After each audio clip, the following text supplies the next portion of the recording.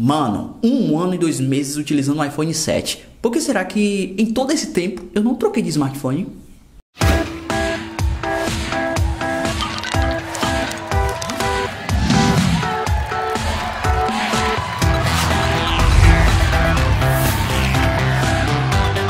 E aí galera, tudo beleza? O Anderson Conceição aqui do canal Meu Smartphone. Mais um vídeo aqui, né? Troquei novamente o cenário, graças a Deus tem um novo estúdio onde eu posso gravar os vídeos em vários cenários diferentes para ficar uma coisa mais interativa e não ficar aquele, aquele cenário fixo, né? Que é muito legal. Tenho muito espaço aqui, espaço pra caramba. E vocês já devem ter visto vários vídeos aqui no canal. Eu gravando em vários é, ambientes, né? Em vários cantos, né? Tem vários cantos aqui. E eu posso gravar à vontade. Eu construí isso aqui especialmente pra galera aí que tá inscrita no canal e gosta dos vídeos. Então a gente vai falar um pouco agora sobre é, smartphone. Claro, é o foco do, do, canal, né? Enfim, iPhone 7. Mano, eu tô utilizando esse aparelho por um ano e dois meses, porque eu comprei ele em 2017, em setembro de 2017 quando eu tive a oportunidade de viajar pela primeira vez para os Estados Unidos. Viajei com meu amigo Matheus Kais, do canal Matheus Kais. Enfim, é, tive uma boa experiência com o aparelho. Na verdade, eu, eu, comprei ele na intenção de utilizar, né, de fazer alguns testes, né, para quando houvesse a necessidade de testar algum aplicativo ou jogo que só tivesse no iOS, eu ter um aparelho em mãos, porque eu não queria comprar um iPhone aqui no Brasil, porque, poxa, mano, é complicado, né? Comprar iPhone aqui no Brasil é barril, como se diz aqui a gíria do, da Bahia. Mas é um caso à parte, porque eu queria um aparelho da atualidade, né? É, tinha acabado de lançar o iPhone 8 e eu achei que o iPhone 7 para mim seria suficiente por, pelo fato dele ser a prova d'água, ser de alumínio, porque eu não queria o iPhone 8 por ser de vidro, inclusive. Quero me livrar de aparelhos de vidro, de alumínio é muito mais é, interessante porque você sabe que eventualmente, mais cedo ou mais tarde, você acaba deixando o aparelho cair. E aparelho de vidro não é uma boa ideia, porque vidro na traseira, mano, deixa o aparelho bonito, deixa o aparelho mais premium, mas não é uma boa não, parceiro.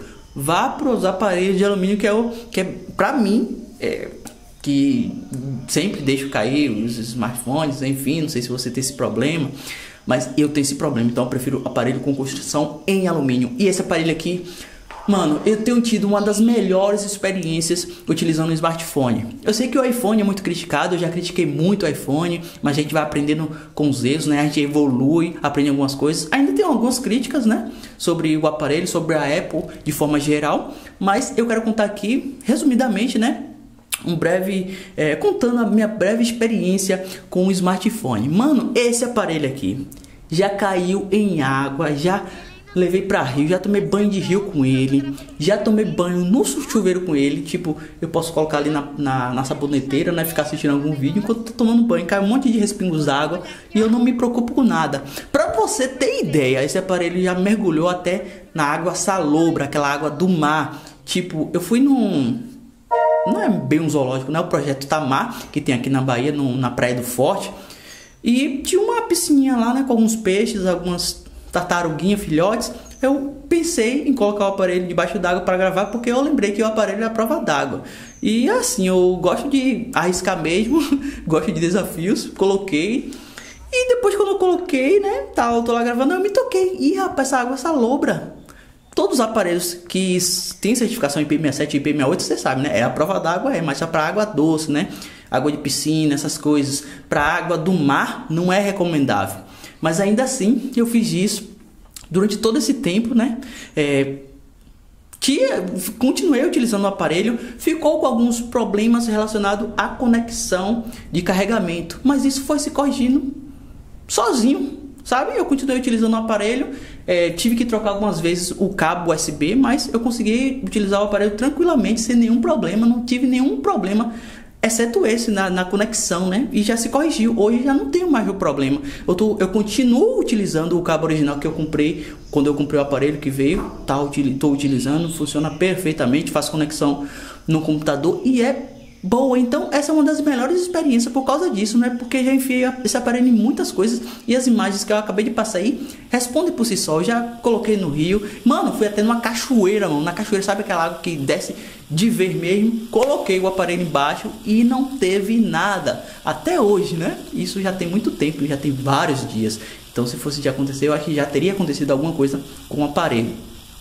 Quando cai água, né, fica aquele probleminha na reprodução de som, né? O áudio fica meio ruim, mas isso é algo que vai se corrigindo gradativamente depois de alguns minutos.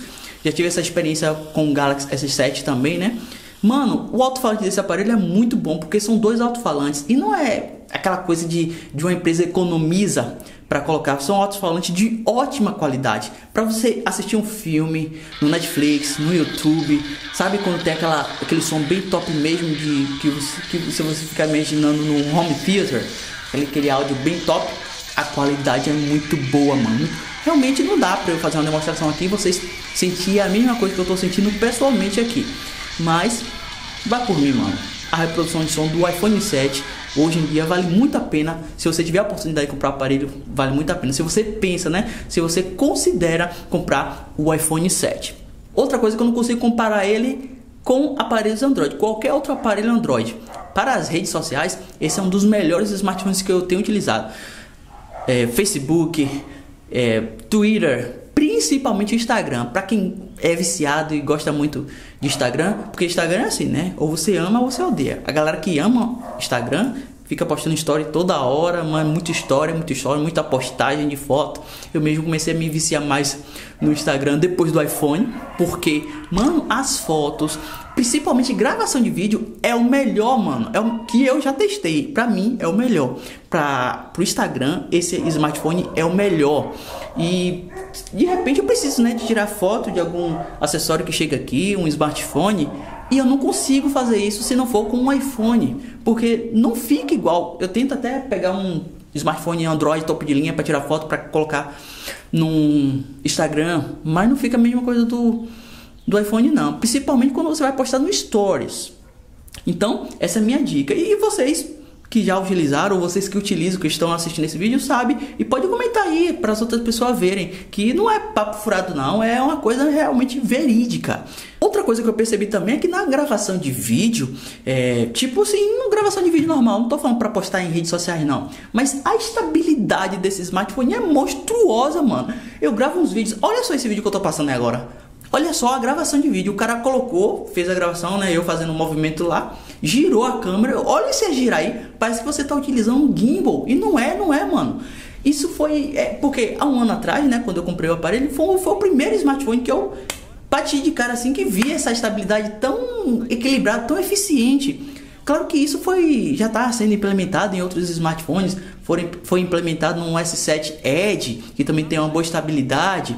É, outra coisa, o Galaxy S8, outros aparelhos topo de linha, mas no iPhone, quando você vai gravar um vídeo curto para postar nas redes sociais, na, no Instagram especialmente, mano, é, fica muito diferente, é muito eficiente. Tipo aqui, para você ter ideia, o iPhone é tão bom para gravação de vídeo que eu utilizo ele como segunda câmera, para vocês verem. Quando eu gravo unboxing assim, que eu tenho que deixar uma câmera de cima para baixo, eu gravo com o iPhone.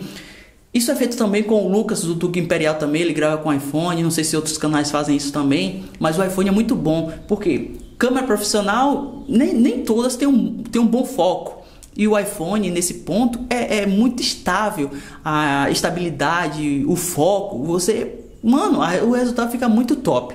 Eu falando dos desafios que eu fiz com o aparelho, né? Falei que eu sempre deixo o aparelho cair. Mano, eu já perdi a conta de quantas vezes esse aparelho caiu da minha mão.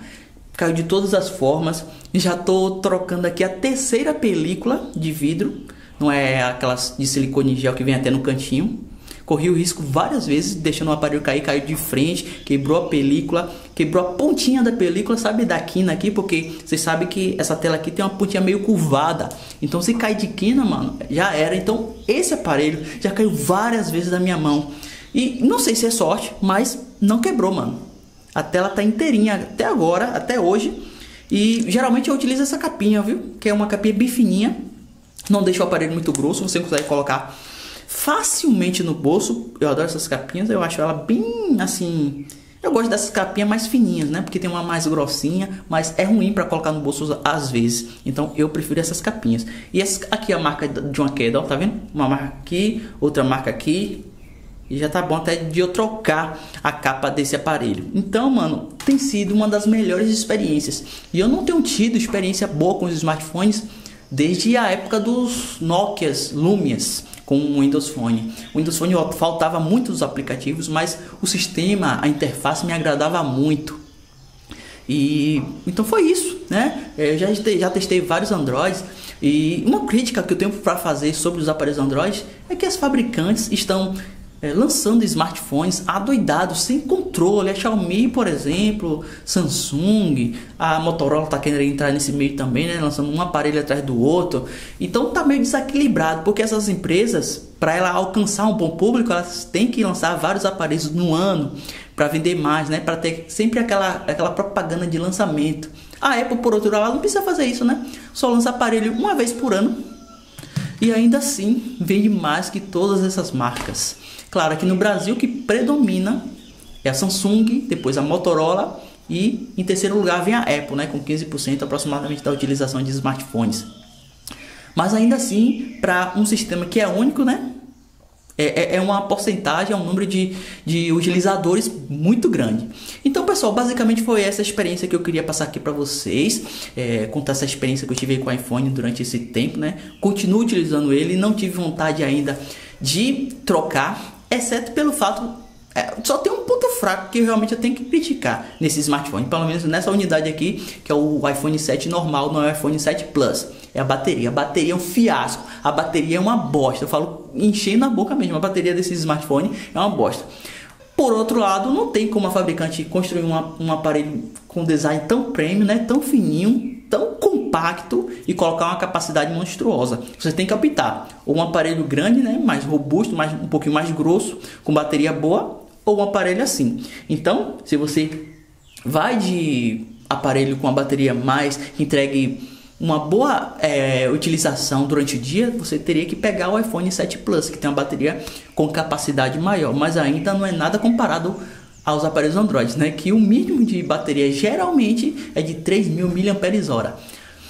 Então, pessoal, concluindo isso aqui, né? Deixa aquele like para fortalecer esse vídeo, para que o YouTube possa recomendar esse vídeo para mais pessoas visualizarem. Gostaram do novo cenário, do novo formato aqui, né? Dessa vez estou gravando aqui em pé, como vocês podem ver, né? Com meus quadros lá embaixo. O, o, minha mesa de trabalho ali, aqui é a minha mesa que eu gravo unboxing. Aqui na frente tem outra mesa que era utilizava muito para ficar editando os vídeos. Mudei um pouquinho, né? Mudei para lá um pouquinho, mas depois posso voltar para cá. E preciso ainda comprar uma cadeira, aquelas bem confortáveis para continuar meu trabalho. Então vou ficando por aqui. Um grande abraço.